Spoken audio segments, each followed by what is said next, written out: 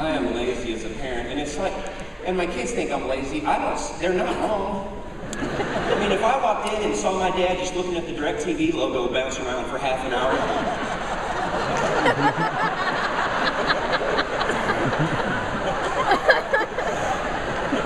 I think he was criminally insane. I am lazy. I actually said this to one of my kids the other day. Look, when I text you, you come upstairs. You understand what I'm saying? what does colon open parentheses mean to you, sir? OMG. OM I will unfriend you. I will unfriend you. That's bad when you unfriend one of your own kids. I just feel so disconnected. Don't you parents with your kids? Because there's just so much iPads and iPhones and computers. You know, I haven't seen my daughter's chin in a month. Like,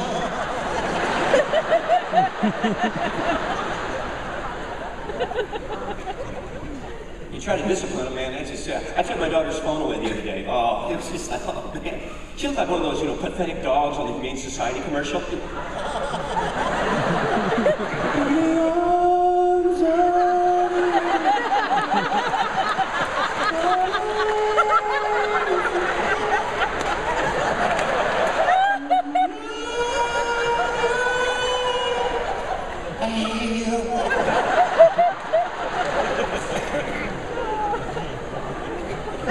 I don't care if my kids hate me. That's the beautiful thing about it. You get older, you just don't care what people think about you. I don't care anymore. I'm not here to impress anybody. I don't care what you know about me. You know, I've used a Walmart baggie for a wallet. I don't care.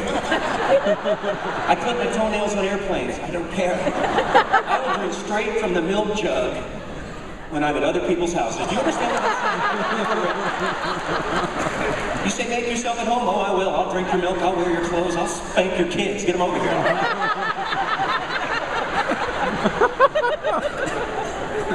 I'm kidding. My, my wife and don't spank her kids. use a taser. It's totally, that thing's amazing. Before you start judging, you need to use it. It's awesome. It's got to be from the Lord. It's so good. It's quiet, doesn't leave a mark. They don't remember. Come on, people, wake up. We call it the whatever gun. Whatever, Dad.